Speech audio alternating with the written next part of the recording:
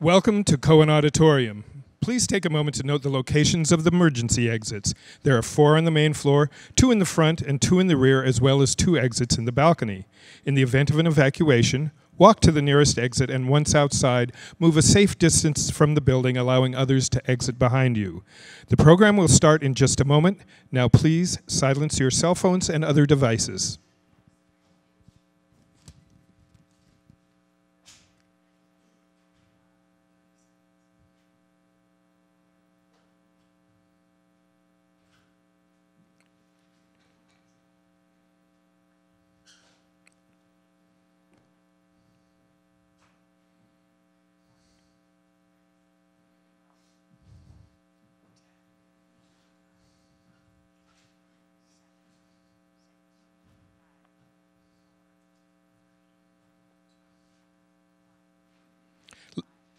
Ladies and gentlemen, please welcome Tufts University President Tony Monaco.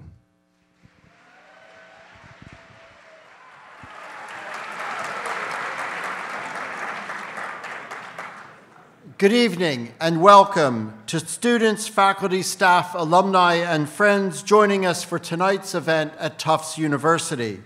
And a warm welcome to all the viewers joining us at watch parties across the country. Tufts is thrilled to host the New York Times for tonight's edition of Get with the Times. We at Tufts University are committed to student mental health and well being, fostering resilience, and creating a healthy and supportive community. Openly discussing mental health challenges is a critical step towards reducing stigma, building understanding of the challenges so many of our members in our community face and advancing society's attitudes surrounding mental health. We are looking forward to hearing Kevin Love share his experience and perspective, and I hope you will all enjoy this evening's program. Now, please join me in welcoming Diane Bainbridge of the Hudson's Bay Company.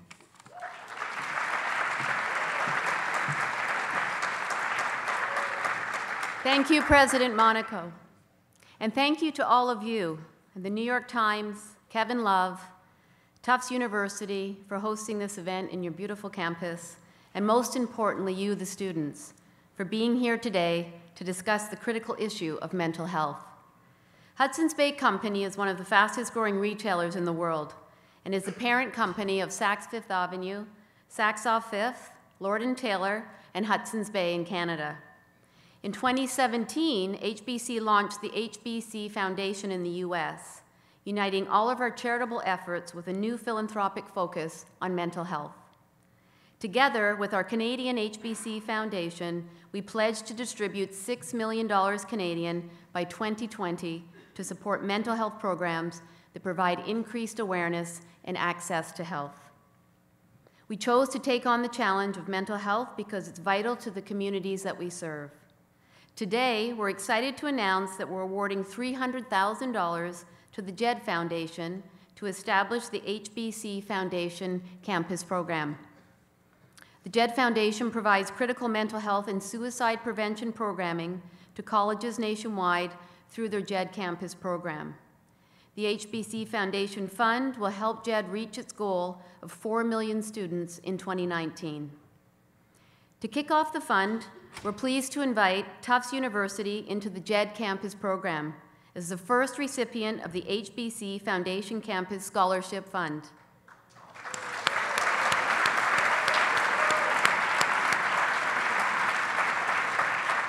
Thank you, Tufts, for your dedication to improving student mental health.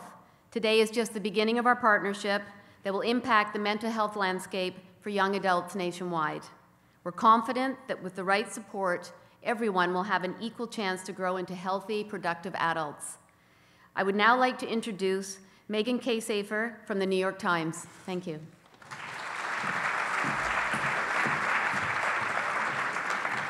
Good evening, everyone. I'm Megan K. Safer with the New York Times, and I'm so pleased to welcome you to Get With the Times, our live conversation series for college students. Hosted by top journalists paired with famous figures in entertainment, politics, sports, business, and more, the series is all about inspiring young people to get involved in the issues that matter to them the most. Tonight, we are thrilled to welcome Kevin Love, who has become a leading voice in the national conversation around mental health awareness. He will be interviewed by the New York Times Sports of the Times columnist Juliet Macur. Let's meet our guests. Kevin Love is a leader on the Cleveland Cavaliers and an undeniable force across the entire league. In 11 seasons, Love has laid claim to five All Star selections, an NBA championship, and won a gold medal from both the Olympics and the FIBA World Championships. Off the court, Love has established himself as a philanthropist. He recently launched the Kevin Love Fund, an organization dedicated to inspiring people to live their healthiest lives. Juliet Macur is an award winning columnist at the New York Times and a best selling author. Her recent work includes coverage of the Olympics, she has covered 10 of them in her career, the USA gymnastics team's sexual abuse scandal, and investigations into doping in the sports world. In 2016, the Associated Press sports editors named her one of the top 10 sports columnists in the United States. We look forward to what is sure to be a compelling conversation. In the meantime, the New York Times would like to thank our hosts, Tufts University, and our collegiate partner, Her Campus. Tonight's event is supported by the US HBC Foundation, the charitable arm of Hudson's Bay Company that is dedicated to making mental health a priority in every community. I'm so delighted to share that the New York Times is streaming tonight's event to students who are hosting watch parties on college campuses across the country. You'll hear from some of them later this evening. Please join me in welcoming Juliet Macur and Kevin Love.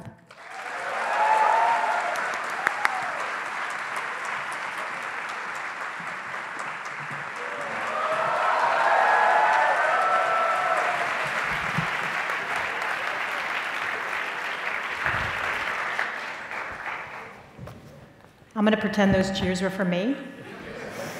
Thank you, Kevin. Uh, just wanted to initially just, um, first of all, thank you all for being here. Thank everybody for tuning in on the web and for everybody hosting watch parties all over the country. It's pretty cool that so many people are interested in this very important topic. Um, thanks to Tufts University, and of course, thanks to Kevin for taking time out of his, um, his basketball schedule to I'm be with us. Now. I'm not doing that much. So. Yeah. Yeah.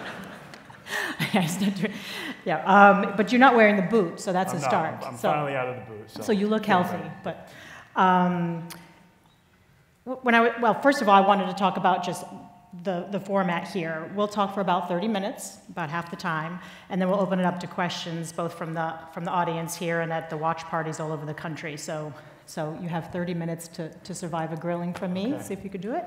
Wish me luck. Sure. Um, when I was initially approached to, to, to talk to Kevin and, and, do this interview, I was, I was very honored and excited about it because I feel like as a culture, we don't talk about this issue enough. And, and when we do talk about it, it's always reactive.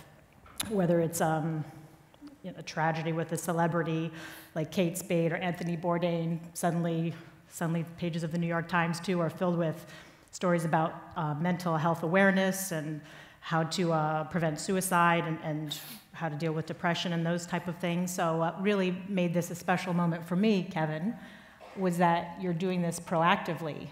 You know, you're going out to talk about this issue when you don't have to, where you could have had that panic attack last year and nobody would have ever found out about it and, and life would have gone on uh, for everybody and you wouldn't really make the impact that you're making. So I wanted to thank you in advance for the work that you're doing.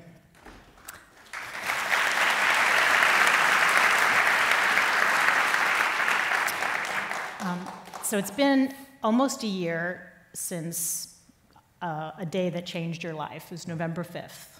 It was a home game against the Atlanta Hawks. Halftime, right after halftime. Yes. Right after halftime. And I think that you said that you, you just didn't feel right all day. No. I didn't feel right all day, and it was a, it was a really odd feeling because there was, you know, things outside of basketball that I was dealing with, and as far as depression and anxiety, it's something that I dealt with my entire life. And when I was younger, I, I didn't quite understand it. I didn't realize why I felt this way. And it manifested uh, in rage fits and in anger. And I always was able to separate myself and had somewhere to go when I was younger. But when I had my, my first real life changing experience with a panic attack. It was November 5th, it was after halftime. I hadn't quite felt right the uh, entire day.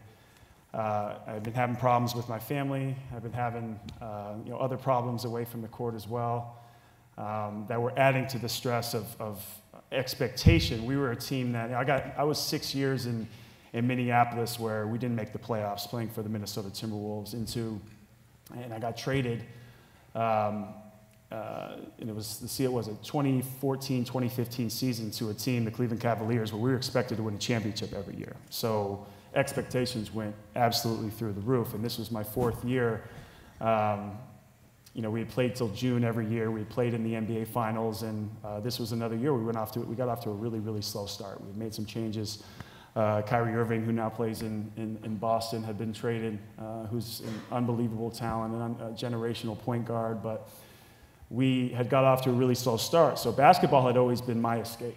It had been a way to alleviate stress and, and, and get away from the dark thoughts of, of, of when I'm alone and my mind would uh, go to a very, very deep and dark place. But uh, basketball was at such a low point that everything just manifested into having this panic attack. And I remember we, it was after halftime, and it, we had called the first time out because, let's face it, we had played like shit the first two or three minutes. and um, I remember coming to the bench and I just couldn't, I couldn't catch my breath. And I, I heard what the coach was saying, what my teammates were saying, the adjustments we had to make, how we were playing, what we had to do. And I just couldn't, I couldn't catch my breath, breath. I could not concentrate on what was going on. So I, I, I left the huddle. Ty Lue had come to me and said something, and I just told him, listen, I'll be right back. So in my younger years, I had a place to, to I had an outlet to, to have these, these rage, rage fits and, and, you know, cry and, and, and, you know, go into my room and never, you know, not leave for a while. But I had to escape to the locker room, and I was essentially looking for something that I couldn't find. I, I, couldn't catch my breath, and, and I wasn't getting oxygen. And I, basically, I just went to my, my trainer's room and fell on the floor and was gasping for air. And I was sticking my hand down my throat, trying to feel like I was getting something out of out of my throat that wasn't there. And I panicked fully, lost my breath, all sweats, and I you know, come to a point where I thought that I was fully having a heart attack and that I was going to die. And I had never experienced something quite like that before. And I followed up, you know, they got oxygen for me. Uh, you know, people had met me on the ground just trying to, trying to get me air, get me to calm down. We went to the Cleveland Clinic, one of the best hospitals in the world, and I completely checked out. They said nothing was wrong with me. So that's, uh, you know, when I came to the point, looked myself in the mirror and said, okay, this, it might be time to start addressing, you know, what, what's been going on uh, as early as I can remember, probably my, my younger teenage years. How did you know it was a panic attack? Did the doctor tell you, or did you have a feeling that it, that it might just be psychological? Y- yes, but I, I didn't quite understand it until I had really met with the doctors and first uh, started seeing my therapist. And I, I, didn't realize or even conceptualize what that was. And I, I didn't know that it was even a real thing. Um, and just going through it, um, and I mean, listen, the stats say that some of you have gone through it as well. And it's, it's a, uh, the first one is frightening. Uh, I, was, I was very, very scared and put in a very vulnerable position. Why didn't you want to tell anybody? Um, I think because, I mean, like I said in my, my Players Tribune article, uh, it was so much of growing up and having this playbook. Like I had a dad who was born in 49, and you know his father was very strong and tough, and they had gone through, uh, you know, a, a, few wars, and uh, you know my dad was, you know, 20 years old in, in 1969. Like think of everything that happened in the 60s, um, up until, you know, I was born in 88. So my playbook was to just you know, put all that stuff over here and suppress it, not talk about it, keep your chin up. Uh, don't show any emotion, don't cry. And I think as young men, that's what we're taught to do. And I was afraid that my teammates would think I was weak, people would think less of me, and that, you know, I, I, I would be unreliable on the court. And basketball was always my, my way out. It was a way to, it was a form of escapism for me. So I always, you know, basketball was my first love and something that brought so much joy in my life from all those dark moments and from all that depression. And I was afraid people in my inner circle away from basketball were, were going to find out, and, and you know, I, I didn't know what they were going to think. I think a lot of the time in our lives, whether it be when we're young or college students or you know, up into adulthood, we are scared of the unknown. I wonder, was it magnified because you're, you're a star athlete that you, that you sort of felt, I'm putting words in your mouth, Yes. but you felt perfect that, you know, I know from covering sports for a long time that these, um, that athletes are, or at least they feel invincible, or, or we make them invincible. Fans think that, that you do everything, you're Right. superheroes. So did that make you even more afraid, and you might maybe have had a contract coming up, you know, contract negotiations, It- that maybe you didn't want to look vulnerable in any way? It definitely did. And actually, leading up to telling my story, I mean, we, we uh, had mentioned Jackie MacMullan's name, a, a senior writer at ESPN, who's one of my favorite people. Um, you know, she had talked to me at, at the All Star break about. Do I need one too? Okay. Um, we had talked about, um, you know, kind of that theory and being vulnerable and, and contracts, and she said, you know, because she was writing her story and ended up doing a five-part series in August uh, centered around mental health.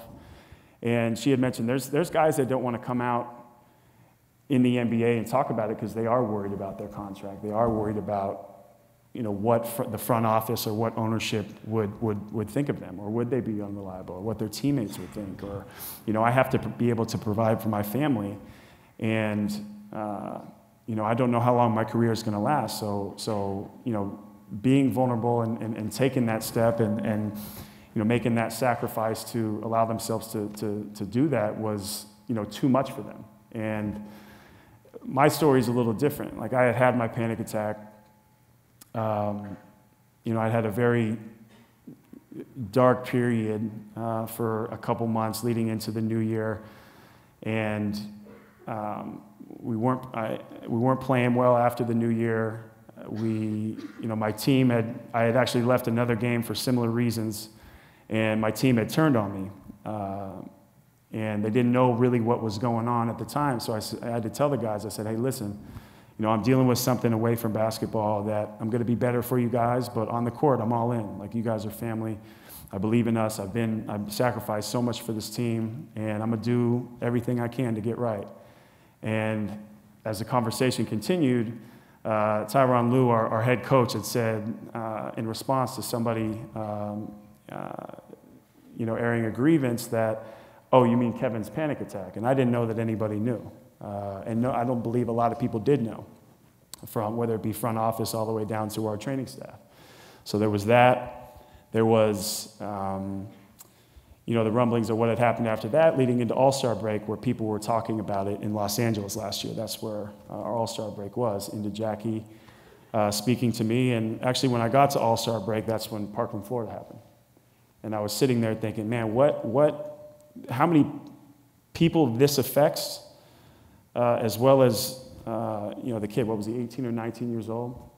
Uh, as well as the, the kids whose lives were taken, and you know the parents that, that had to deal with that, and the kids having to go back to school, so on and so forth. So um, I think there was a number of things pushing me to tell my story, as well as me wanting to tell my own story in my own words, because I that was that was something I was I was worried about that somebody would get hold of it and it would take on a life of its own rather than it being in my own words. So uh, I wasn't so much worried about um, the repercussions of it. I was just um, I was a little unsure, uneasy of, of, of, of what people would think or how they would view me.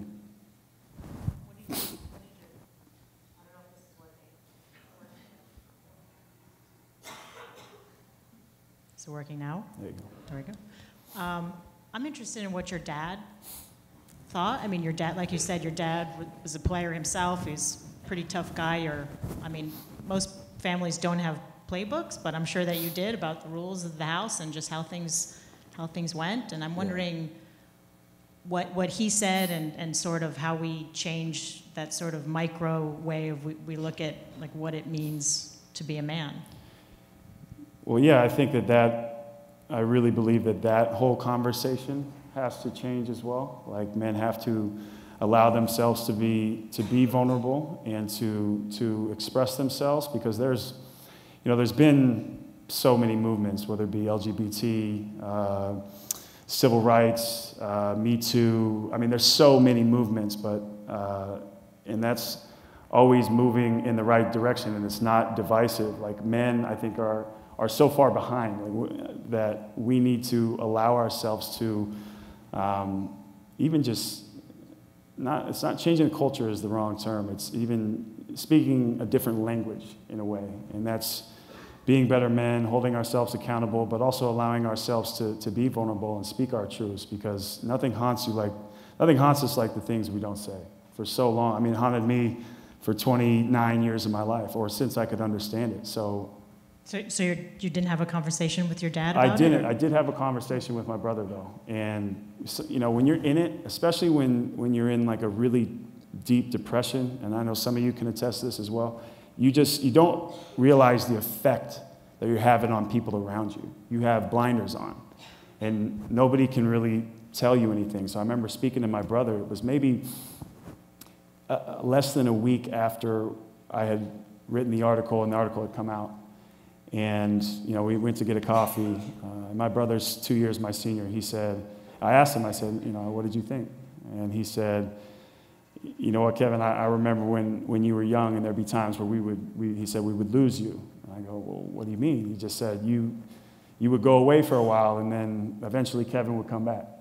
And I, you know, was taken really aback by that and, and just, I, knew that I was, I was going through certain things in that time that I didn't understand, but seeing it from a, somebody who shared the same home as me growing up, I mean, that's the closest that you can be to somebody is your own blood. And uh, I, didn't, I didn't really have any, I couldn't really conceptualize or, or, or see that when I was going through it. I'm not sure if you can explain this now, but if you have somebody in your family or a friend who might be going through these kind of things, like you losing a friend for a couple weeks, you know, from your perspective, what, what could other people do? Well, it's amazing. The, the most amazing thing to come of all of this, and it's been therapeutic for me, is the, the community um, the community aspect of all of, the, of all of this. And either somebody you know, I really truly believe that everybody is, is going through something, whether it be on a daily basis or whether it be at a point in your life, because we all suffer at the very least loss at some point in our life. Like every, everybody is, is going to expire at some point. But um, you know, I really truly believe that, you know, whether it's you or somebody at arm's length uh, to you is, is going through something. But it wasn't until I allowed myself to, to do this that I realized that there was such a big community. Like, you know, we, I had a great intro here about all my accolades, but the, the biggest thing in my 11 year career so far that I've done has, has been this because of, of the community. More people in my entire career have come up to me uh, about sharing my story and, and what I've been dealing with than any other point in my career. So I've found that to be super therapeutic, but also, you know, very cool and a big reason of why we're sitting here today, because I believe, um, you know, universally we need it, but, uh, you know, here in America more than any, any time, I, I think that we've, we've needed it as well. It, so it's amazing that even though you're around tens of thousands of people, you know, when you play basketball and you've been around the world internationally and all these fans and people watching you and wanting your autograph and that you felt alone. I did, and you mentioned uh, Kate Spade and one of my heroes, Anthony Bourdain. I mean, Parts Unknown is, I was just watching it today. Um, he was, uh, you know, a wild story is, um, you know, I've been working actually with the Players Tribune. I'm working on, you know, poten- potentially doing a show um, that's in somewhat a, a, a, tribute to him. But uh, in that week, you know, Kate Spade had taken her life, and Anthony Bourdain. It was. I woke up and checked my phone, and uh, it was game four of the NBA Finals. And that just completely shut me off for uh, not only that day, but a little while. But I remember I was uh, cleaning up my home and, and ready to, you know, we had our exit meetings ready to leave for the, for the off season. I had all this legal pad paper of, um, you know, pages of notes just going over, you know, I think it was like five or six seasons of, of uh, parts unknown. I just sitting there like, wow, um, you know, it's, this is you know really wild. And Bryan Cranston, who I'm a big Breaking Bad fan and a huge fan of his as well, he came out after that and said, uh, success is not immune to depression. So Uh, it doesn't discriminate. I mean, this is a universal thing. It's not uh, about race, gender, sexual preference, socioeconomic status, uh, demographic, what age you are. I mean, this, this relates, and this, I think, hits home for everybody. What bothered you the most about Anthony Bourdain's suicide? That he was so universally loved and well liked, and it felt like you know he had he had had money, he had traveled the world. You felt like you traveled the world with him. Um, beautiful uh, child, girlfriend. Um, you know, had a TV show that everybody loved. Uh, you know, had been through it. He was so relatable in so many ways, and uh, I mean, that's why I just I couldn't get enough of, of him or his show because he was just real. He was an authentic person that seemed to essentially have everything, and uh, you know, it just felt like we had lost uh, a great Samaritan, a great person, a person who stood for all the right things. And he had the best job in the world. He got to he got to go all over the world and ask questions like, you know, what makes you happy? What's it like here? What kind of food do you eat? And like he said, you'd be amazed at the answers you'd get. So that was that was a uh, you know somebody that I'll always remember as a as a bright spot, and uh, in a lot of ways try to live my life like. Could you empathize with him? I mean, Totally. obviously you're very likable. People, uh, you know, are, are your fans, and you you have, seem to have everything in the Right. world. You have a 120 million dollar contract. Right. Not too shabby. I had to throw that in. I'm sorry. um, you know, it seems like that that you had some things in common with him. I wonder if that's what really hurt you the most. Yeah, it did, and it's tough to find. Like that was something I was really uh, worried about because we have these annual meetings with the Players Tribune or, um, you know, with my my agency, and, and we always talk about like, especially now, how are we going to find ways to to, you know, how are how are people going to express empathy or or you know, commiserate's a uh, a funny thing to say, but you know, f- find empathy when you seemingly do have everything. But people, it manifests and people suffer in different ways. And I think that you, you mentioned money. Like money doesn't, it doesn't make you unhappy, but it's, it's just not the only currency that, that truly matters. Like I think that more, if I, uh, we have this thing on the Players Tribune where we actually uh, write a letter to our younger self. And for me, my emphasis was always to, oh, it's going to be a business and, and you're going to have to make money, but that doesn't solve everything. Yeah, it's good to have, but if I could look back and tell myself, I would, I would generate more of my energy and, and have more of an emphasis, emphasis on creating more time because you can always, you can always make more money. Um, it's going to fluctuate throughout your life how much you're going to make, and with time, you're not, you're never going to have any less, in it, less of it than you have right now.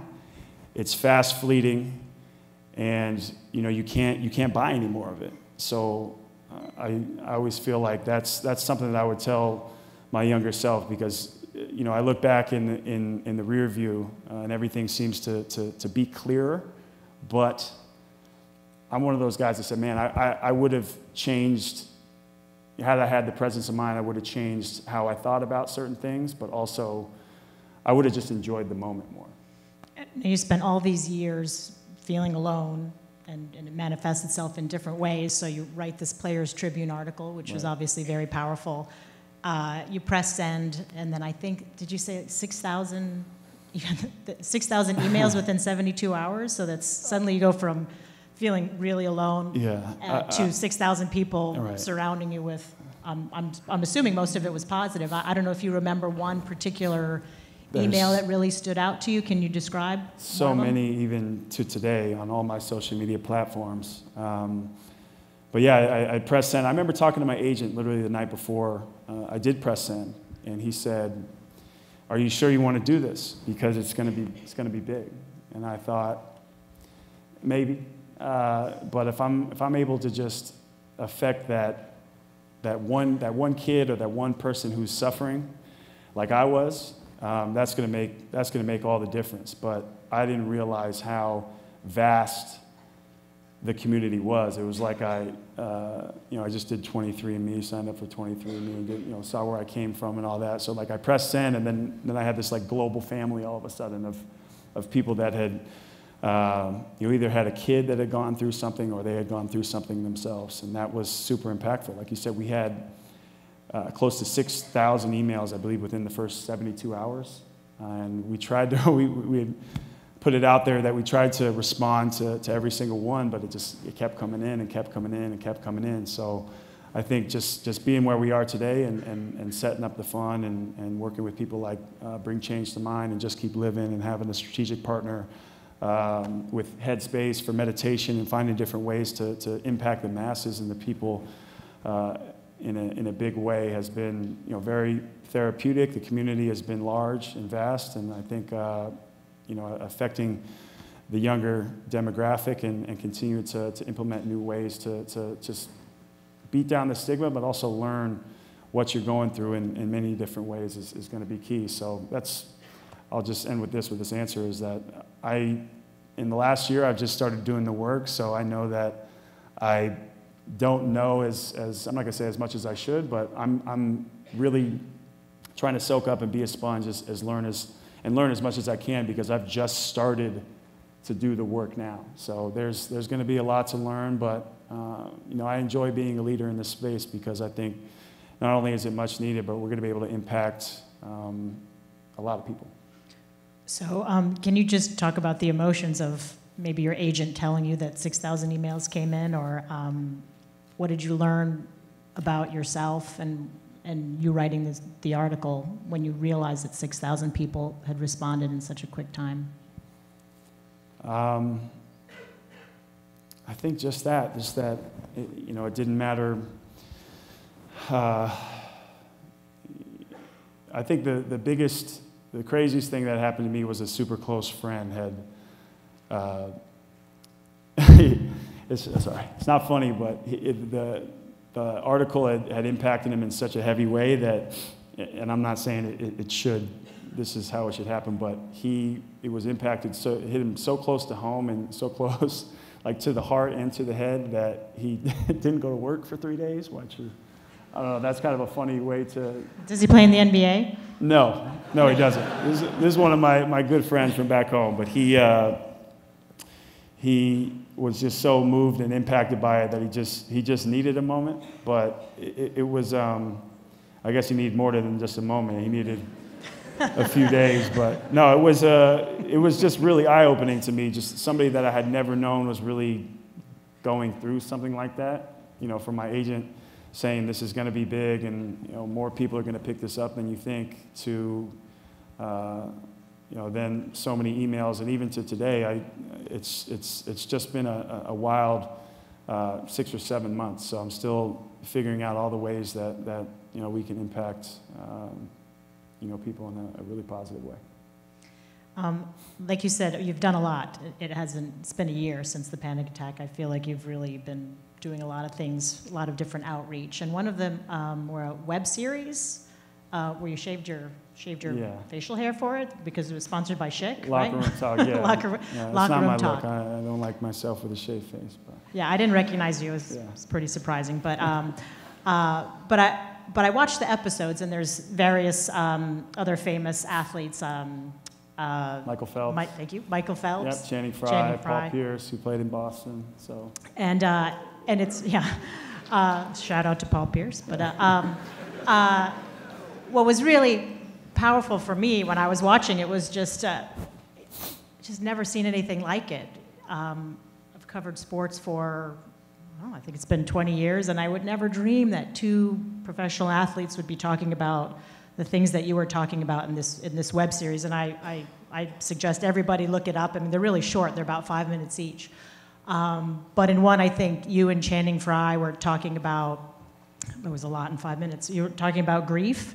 He he had lost both of his parents. Both of his parents within within, a month. within a month. And, um, and you, uh, I know that you had lost your, your grandma Carol. Yes. Um, and she was, maybe, maybe you could tell us a little bit about what Grandma Carol meant to you and, and just the fact that you hadn't worked through that grief, sure. um, you know, up to the point of the panic attack. Well, that was one of the first things I, I realized that I was holding on to for so long. Because I mentioned time earlier and not being able to, to, to get that time back. And I, I was so singularly focused when I was young, and I think in a lot of ways I had blinders on with that. Like I didn't, I think what makes us happy is, is, is doing things for others and spending time with, with close ones, whether it be friends or family, among other things. But my, my grandmother stood for all the right things. She had great morals, great character. She had lived her life vicariously through her family, and that was number one. That's all that mattered. And I, you know, had been a little bit jaded getting into the NBA, and I, you know, been I was 19, put into a uh, uh, a situation where I was making millions of dollars, and I just had one thing in mind, and, and my goal was to just, I mean, get every ounce that I could out of this basketball thing, where I forgot to then make a life. And my grandma. Uh, I had seen her in the summer, but I would, I would spend you know, a couple minutes at my house, go and see her, and not really put in that, that, that quality time with her to where uh, she had never been out to Minnesota, and this was my, uh, this is 2013, so this is my sixth year um, um, in Minnesota, and she was supposed to come out for Thanksgiving, and she hadn't been, we hadn't been to a Thanksgiving together uh, you know, since I was in high school. So 2007 was my senior year of high school. And, uh, you know, some plaque had gone up to her brain. She had, um, you know, a lot of medical problems that had, had led to uh, a stroke. Uh, she never got better, and she had, um, she had died soon thereafter. So a lot of that time that I wish I had spent um, and wish I could have back was gone. And I never had grieved after that because I had, um, you know, just gone right back into the season. And, you know, it always mani- manifested itself in di- different ways, but that stuff was tucked away, deep seated. I wasn't able to grieve really until, until last year. So, um, having gone through that as well, that's why I was able to empathize and, and, and be there with Channing when he had, because we had lockers right next to each other uh, in our locker room, and we always put next to each other uh, on the road as well. So when he had lost both parents, that was a tough see- thing to see such a close friend go through. But uh, I think those shared experiences and, and just being uh, either an ear or a shoulder for him or a drinking buddy was, uh, was something where I could, I could uh, you know, really help him and just, uh, you know, everybody has their way to, to you know, it doesn't have to be a professional. Everybody has their way to, to air things out and, and, you know, air grievances or something that they're, that they're going through. And, you know, with Channing, it was through his, his teammates because that was his way of, of, you know, getting away from it all. Now, you mentioned in July on Instagram, you posted a picture of, of Grandma Carol and said uh, something like, I, I wish you were here right now, which uh, made me just realize that, or, or maybe you can explain how it, you know, these things, just because you had a panic attack, went to a therapist, and have been in therapy, doesn't mean, you know, suddenly Kevin Love is 100%. Sometimes you're not it, okay. it actually got worse before it got better.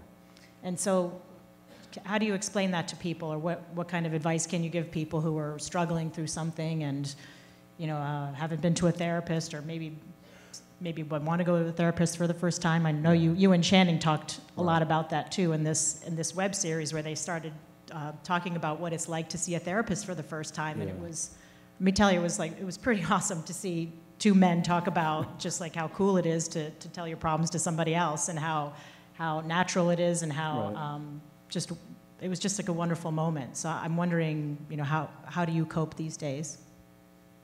Um, you know, there's a lot of lot of ways that I relieve, uh, you know, certain things in my life. Like uh, with stress, I've, I've learned to do. Uh, it's always been, you know, basketball, whether it be working out. I love I love to work out, so that in itself will. Wait, hold on. Before you talk about the, how you how you deal with your stress, I think a student has a question about that. Okay, so. okay, sorry. I, will- I will. So, but, but let me just ask you for the last, last, my question is, um, just, uh, are you happy now, or are, are you happier because you finally, you know, let this, uh, let this burden go, or let somebody else carry, carry the weight for you a little bit?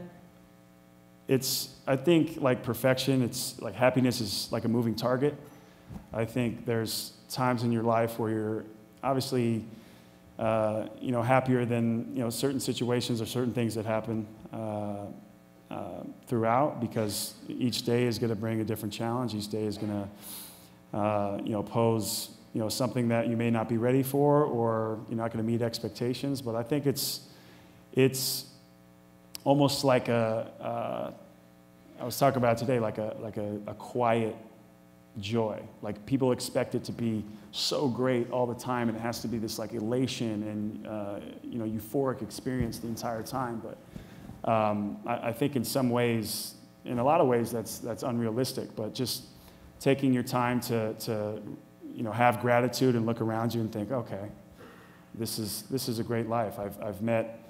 Uh, you know, I have everything uh, that I would need. I have all my basic needs met you know, what do I really need after that? It's, it's you know, that quality time with family. It's, it's friends. It's doing things for others. It's, uh, you know, making a gratitude uh, journal and, and making sure that you're, you're just, you know, giving thanks and, and, and trying, to, trying to better your life. I think more than any time in my life, I've been more comfortable in my own skin. And I've had you, I live by the saying that, uh, you know, only by admitting who we are do we get what we want. So I had to, you know, pass the mirror test and look at myself in the mirror and say, okay, you know, how, how can I be a better version of me? Because I think, like I said, that, um, that perfection is, is always uh, a mo- moving target, and we're all a work in progress. Like it's, it's never just, it's never going to be perfect. And you have to, uh, once you realize that and, and realize that everybody's going through something and we have this uh, vast community uh, that's universal, that you're going to you're to be a lot happier.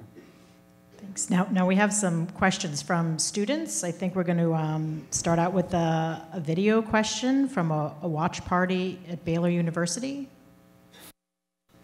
Hi, my name is Brian Laughlin. I go to Baylor University. My question is, if you had advice for a college student, either athlete or not, what would it be? That's a real specific, specific answer.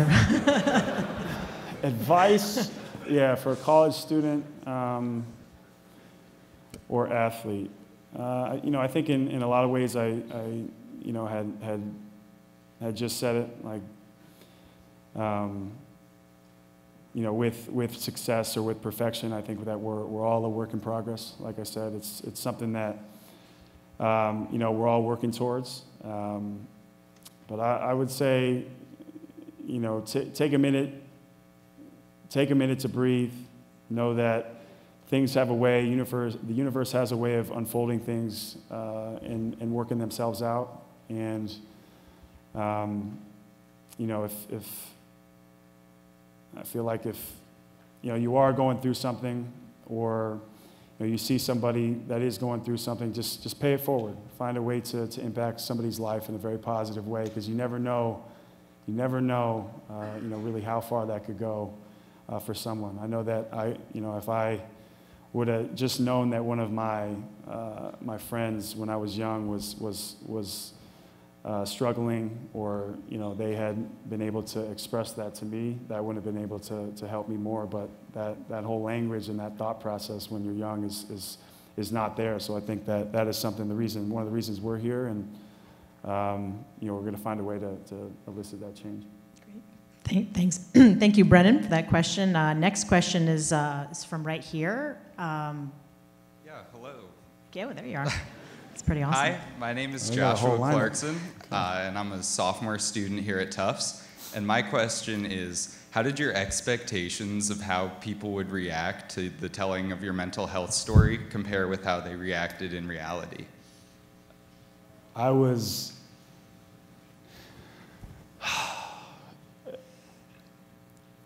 I was very, uh, shaken up is the wrong term, but I was very uneasy about how, pe- how it would be received.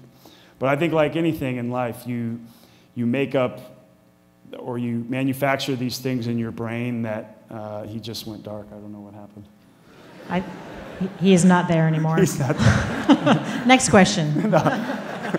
no, so I think you manufacture these, these moments or thoughts in your brain where you think things are going to be so much worse than they are. And, uh, you know, I mentioned that rear view mirror earlier. You look back, you thought, man, that wasn't, that wasn't so bad.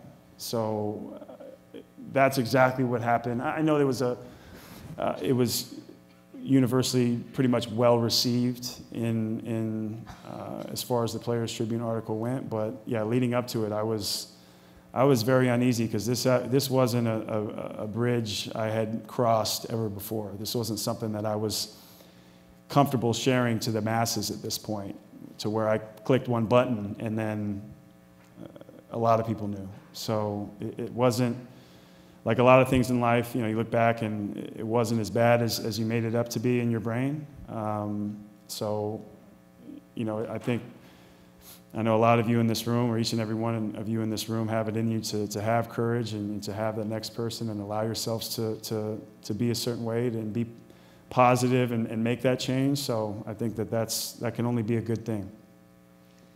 Okay, um, next question comes video from the University of Illinois.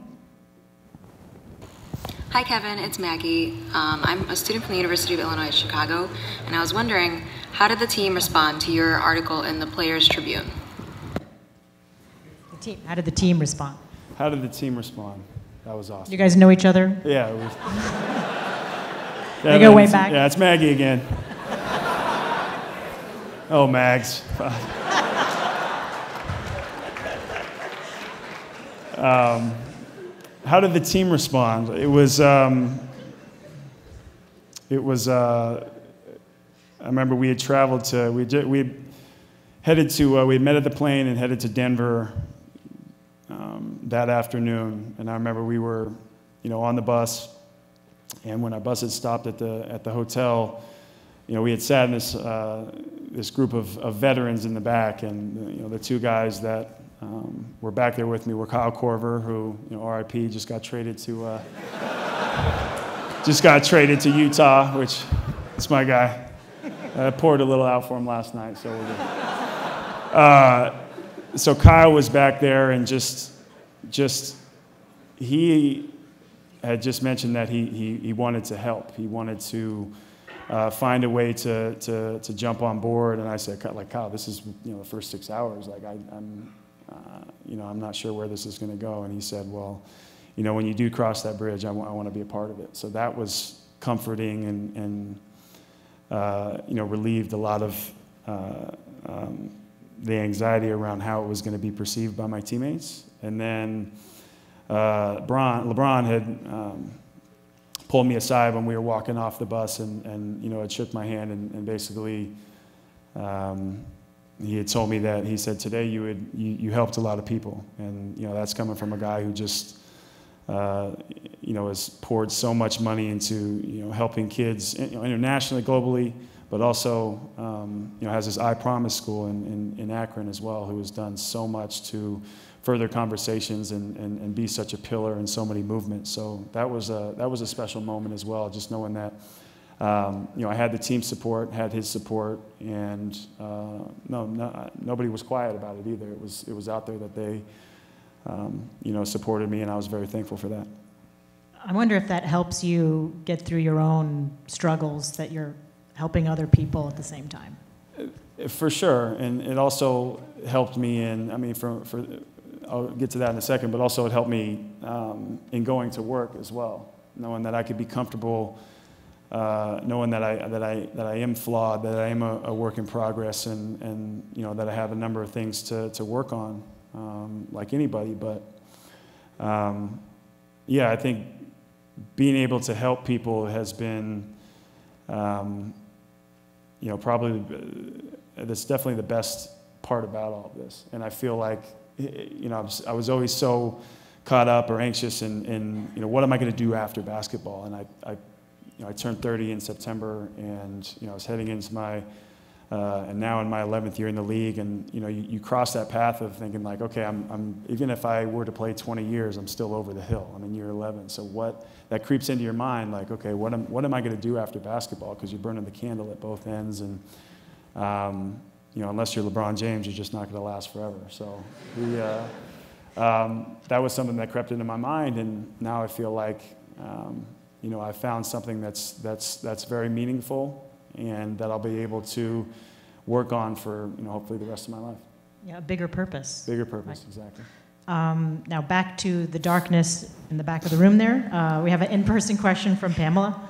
Hi, my name is Pamela Toscano. I'm a senior at Tufts. My question is How have you seen mental health in sports, specifically basketball, change and evolve throughout your career? It's a good question. The, uh, well, you'd mentioned the, um, the uh, I just have a feeling that fucking light's gonna go off any second. no. like, such a little kid.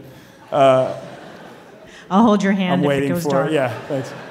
Um, no, it's it's definitely changed to a point where um, you know people are very forward and forthcoming in talking about it. Um, I've, at least in, in my personal experience, I've become a person that, especially in this past year, that's just been like.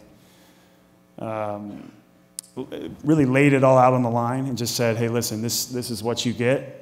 It's part of being comfortable in my own skin. It's also part of being 30 because I was told after 30 you kind of start stop giving a shit about the little things. But am I cursing too much? Am I good? My mom's watching, so. Okay, sorry. uh, sorry, mom. No, so I, I have been a per- person that's just kind of laid all my cards out there and said, "This is what you get."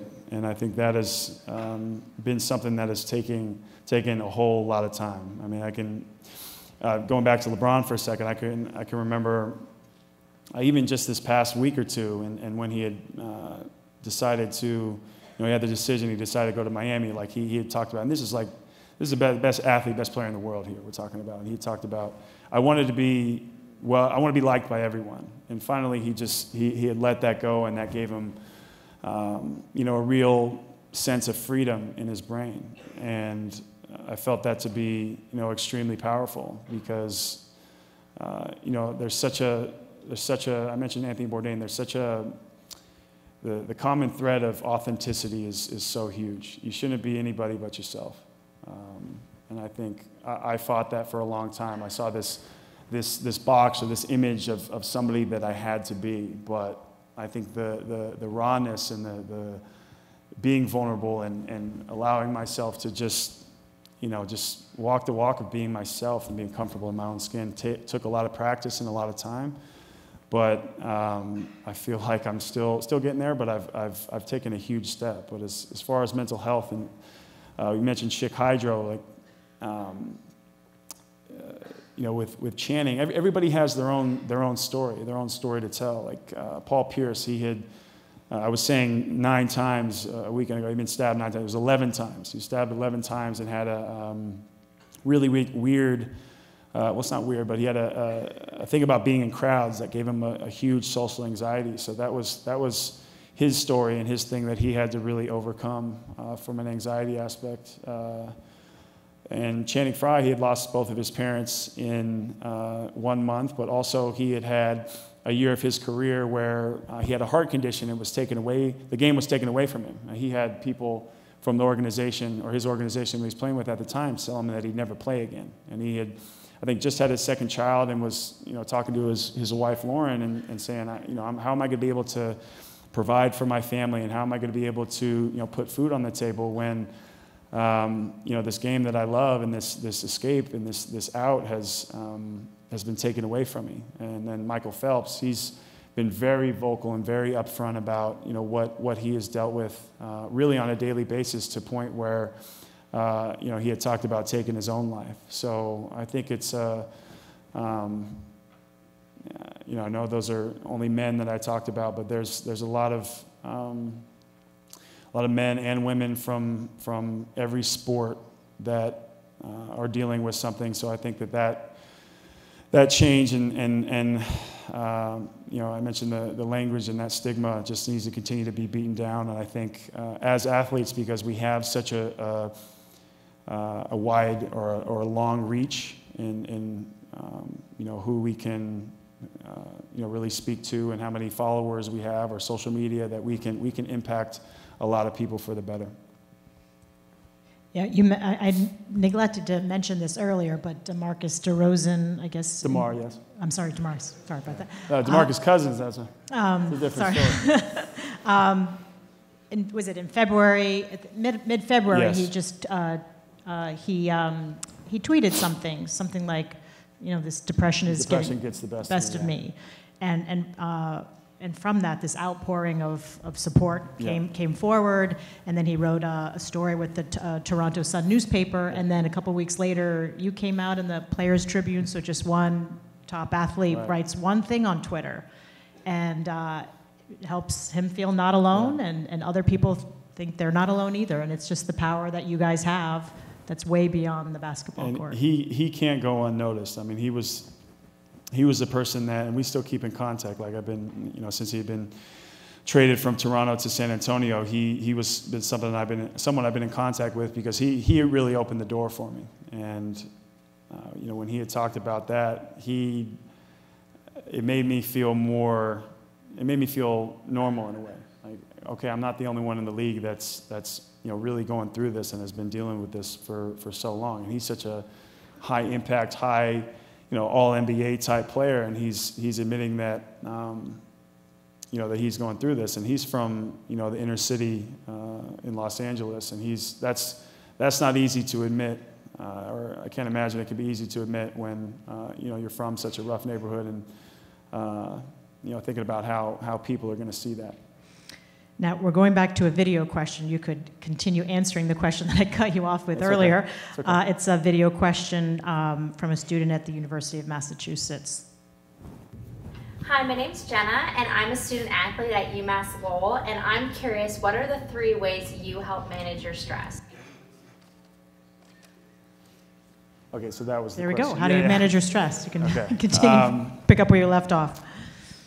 I would say exercise I mean, that, uh, like I say, it goes without saying, but even outside of basketball, I've always been somebody that's, that's um, really loved to exercise. I'd say I'm, i grew up in Portland, Oregon. I was born in Los Angeles, but I grew up in Portland, Oregon. So, um, you know, I, I, I, like to be in nature. I like to you know, put my feet in the grass or just even go outside and get fresh air. I think that can be, you know, just being around the elements can, can uh, be very relieving or very, um, uh, just make you feel a, a sense of, of, of, being grounded. It's like I said, that kind of quiet joy where you look around and think, "Wow, this is this is this is great. This is beautiful." Um, what else? I would say dogs. I mean, who doesn't love yeah, I mean, dogs, on. right? do you have a Do you have a dog? Uh, no, Probably I'm thinking, not. I'm thinking about it though. Um, you know, because they they uh, I guess you're from what science says, like you, you know, you, you, you live a three to five more years and uh, your anxiety goes down around dogs, and uh, you know I have a not not I'm not going to tell the joke on here, but it's the one about you know you put the people in the trunk, you open up the trunk, who's happy to see you, the dog. So anybody know that one?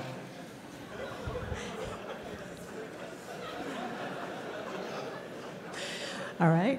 Um, um, you want to want to tell the whole joke? oh, oh, and then I have to say this too. Uh, now I'm afraid of your answer. No, no, no, no, no, no. Uh, no, I'd say uh, I've learned to my, my uncle, um, who's been a performer for, uh, you know, 50 plus years now. He. You can say who your uncle is, maybe? He's actually here. I'm actually going to his concert after this, yeah. He's actually performing in Boston tonight. Um, he, uh, he's the lead singer for the, right. for, for the Beach Boys. I don't know if that means anything to you guys, but.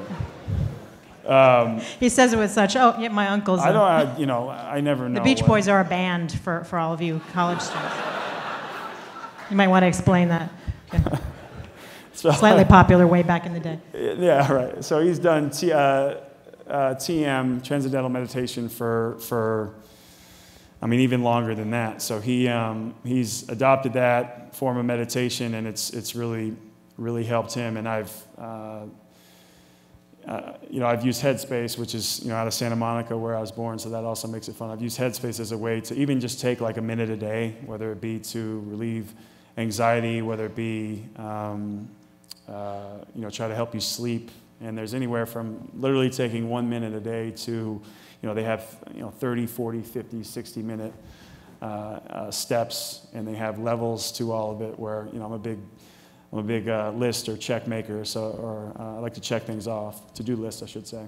Um, so that they have those type of things where you can accumulate, um, you know, just checking things off the box and, and, and, working on different forms of meditation. So I think that, that is another way.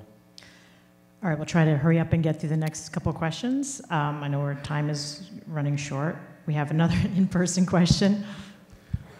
Hi, um, I'm Ayub. I'm a junior here at Tufts University, and my question is, if you could have dinner with someone who inspires you, either dead or, dead or alive, and just kind of pick their brain, who would you pick and why?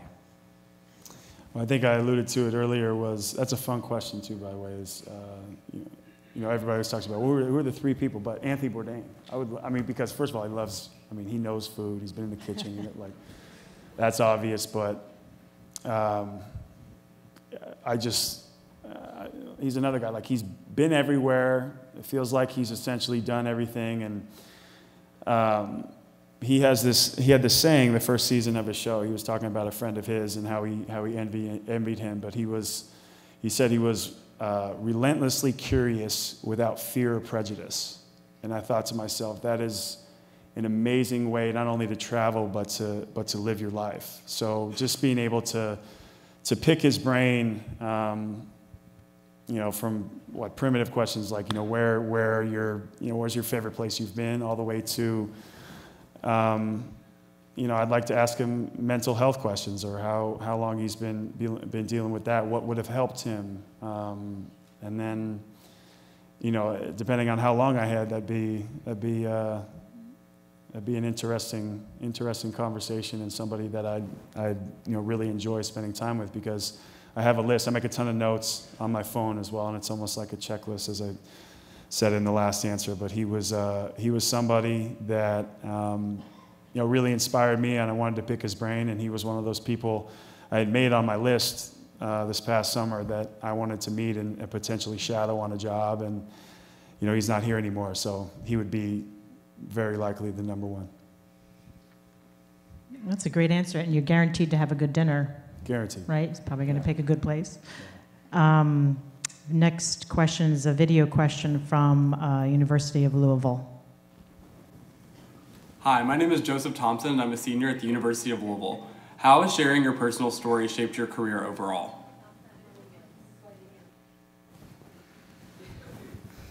I kick out of that one too. How has it shaped my career overall? Um, These are tough questions, but, uh, but yeah, they're good no, questions. I think that uh, it's a good question. Um,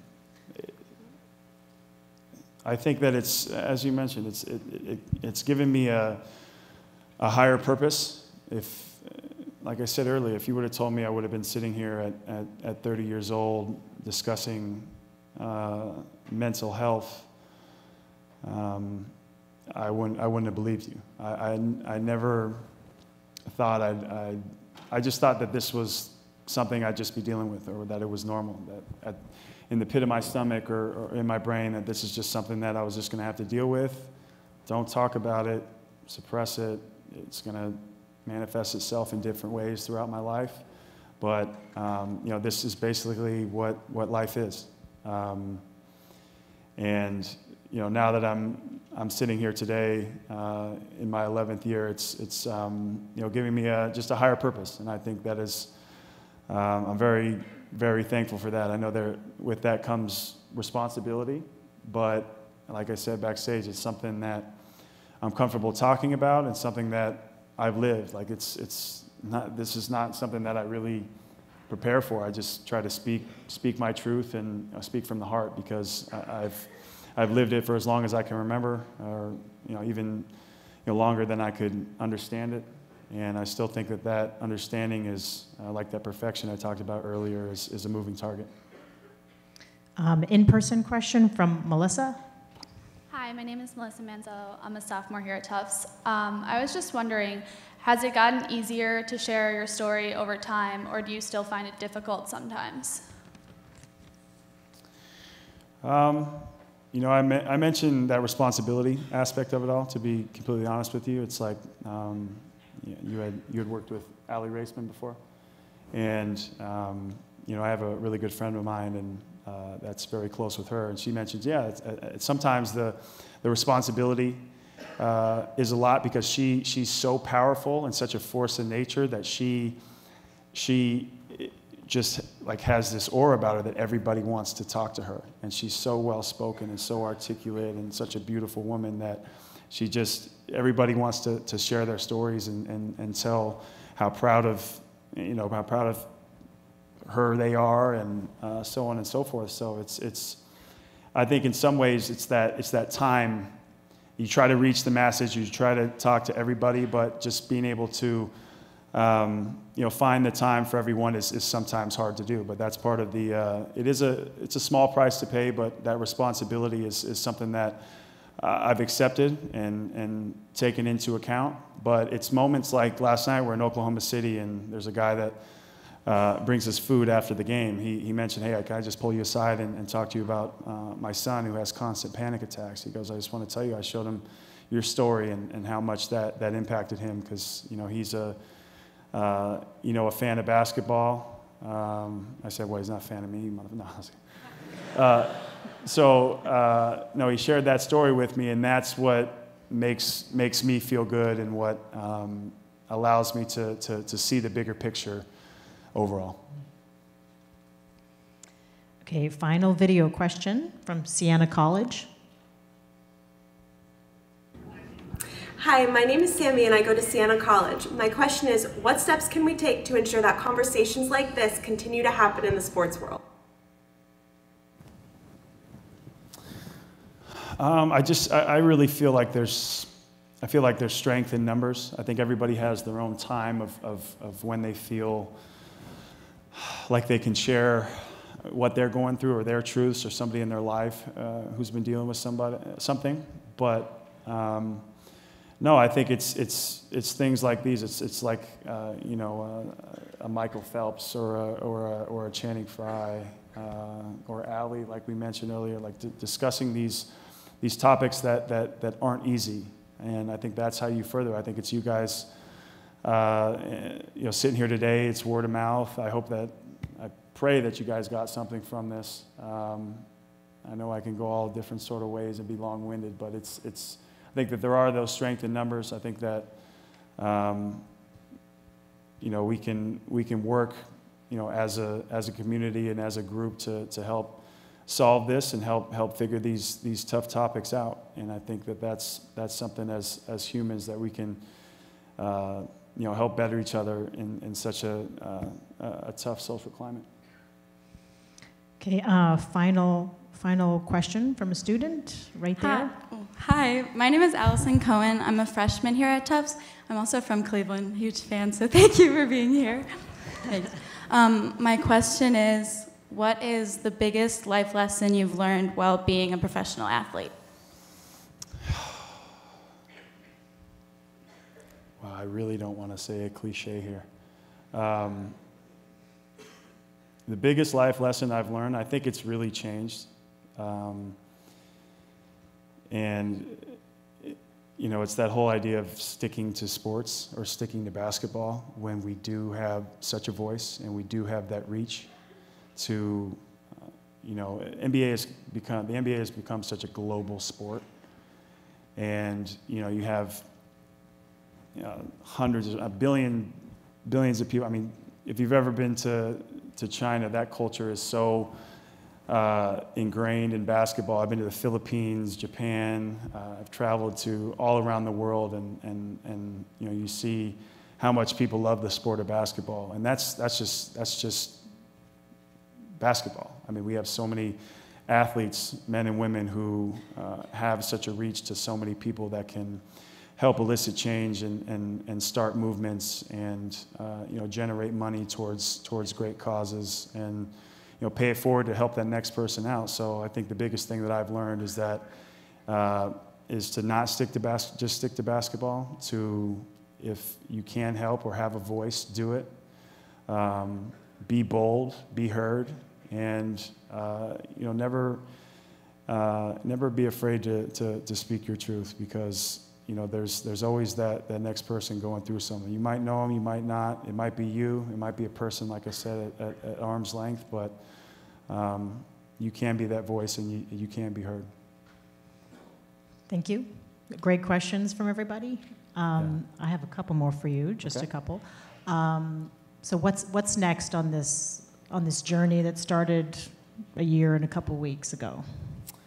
Yeah, well, we, uh, we covered a lot of stuff in like the three minutes we spoke backstage, didn't we?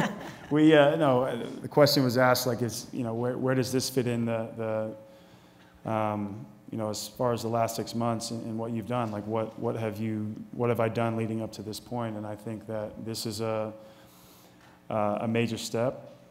And I think as part of it is not only, it's like walking the walk, right? I, I want to make sure that, that I am making positive steps in the right direction. And the, the biggest thing for me, uh, or why I see it going, at least where my fund is, uh, and I've worked with a lot of uh, you know great great funds and uh, great people already, um, which I'm very thankful for. But it's the younger demographic, I think, because I, I, was I didn't understand it when I was young, and I was I put myself in, in, in such a hole early on that I, I learned about um, physical education, sexual education. Uh, I learned about um, you know that sort of stuff, but I, I was never keen to, or or uh, I was never taught that you know that there's uh, you know, genetically you might be, you know, going through something in your brain. And I think circumstance plays such a small part so long as your, your basic needs are met. But then it's also, uh, you know, as the question was asked, like there's steps uh, you can take and, and, ways that you can, you know, help yourself be ha- happier on a daily basis. So I didn't have any of the any of the tools when I was young. I wasn't taught it, and there wasn't any course or um, you know, you have your you know, health classes, you have your, you know, you have the sex ed that's put in there, and you have, you know, your PEs, you have your uh, extracurricular activities that you can, uh, uh, you know, exert. Um, your body and athletic performance, like certain things like that, but you never really tackled or, or faced the mental side early on, and I think that you have to, uh, you have to find a way to, to, to impact the, the younger generation, and I think it's all the way up through uh, college students as well, because you know you guys are who the people who are going to shift and, and you know change the paradigm, paradigm and change the world. Um, I just have a couple takeaways. One, I think everybody who likes dogs, who are either in the audience or who are watching online, should send uh, Kevin a tweet telling him he should get a dog. What kind? Uh, I have a dog. It's great for, for your mental health.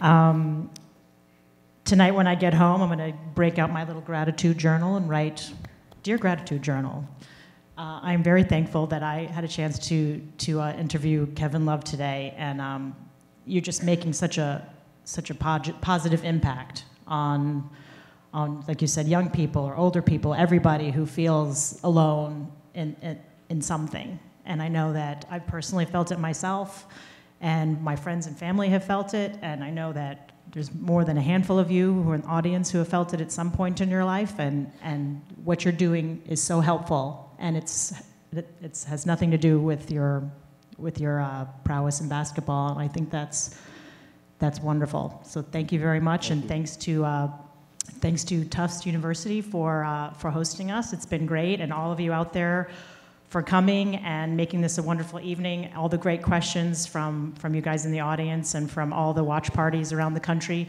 This has been a really special evening. Um, thank you, Kevin Love. Thank you, guys.